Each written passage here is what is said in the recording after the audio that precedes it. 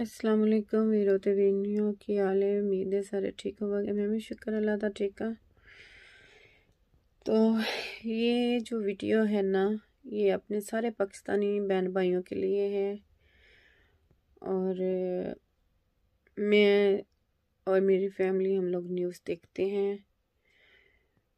मैं हाँ साहब को और उनकी फॉलोअर हूँ।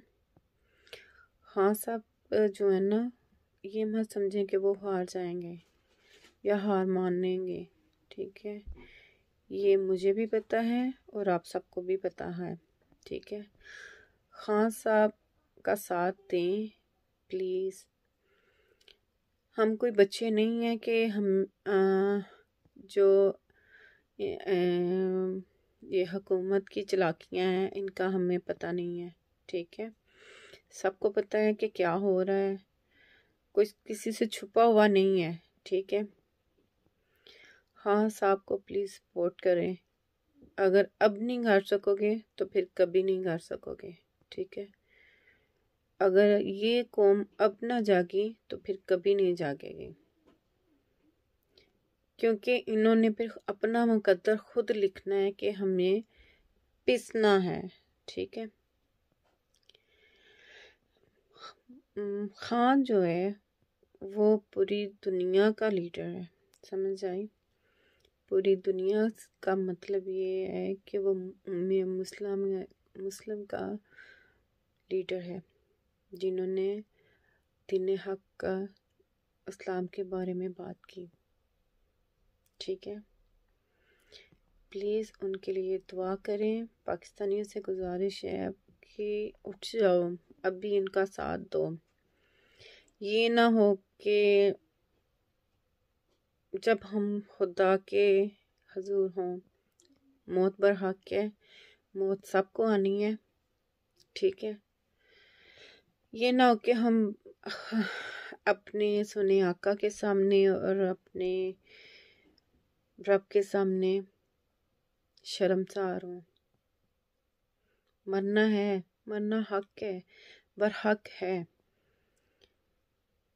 तो वहाँ पे हम लोग क्या मुँह लेके जाएँगे?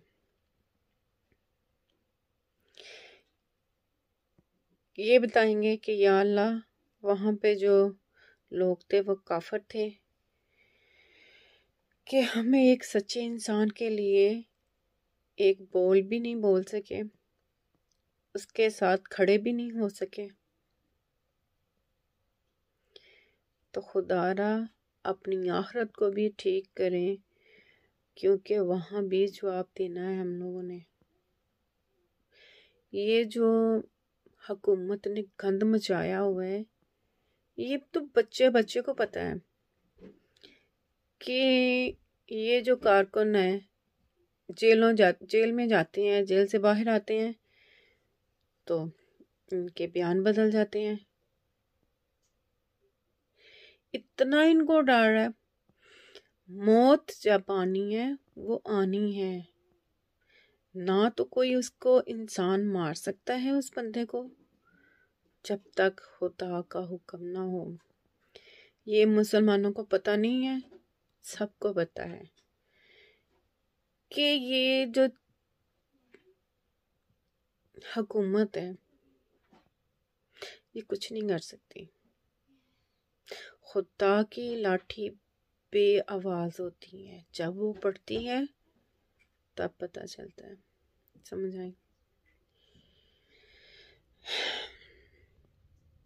ये किसी ने सही कहा है कि बुरा वक़्त जो है ना, इंसान की ज़िंदगी में ज़रूर होना चाहिए। क्योंकि तभी पता चलता है कि कौन साथ देता है और कौन हमें छोड़ जाता है। ठीक है? ये टाइम था कि आप सब खान के साथ खड़े होते उसको सपोर्ट करते हैं। ये कोई इतना ज़्यादा लोग नहीं है आवाम के सामने कि आप दो चार बंदों से डर गए हो। या अल्लाह ताला ने खान को आप लोगों के लिए चुना है। ये जो लोग अब आके बयान दे रहे हैं कि हमें बच्चे प्यारे हैं, हमें ये प्यारा है तो हमें वो प्यारा है, पहले सारे सो गए थे। हमें पता है कि दबाव में सारा कुछ हो रहा है। ठीक है? दबाव में आके सारा कुछ हो रहा है। लेकिन आप उन लोगों की भी तो कुर्बानियाँ देखो, जिन्होंने दी हैं।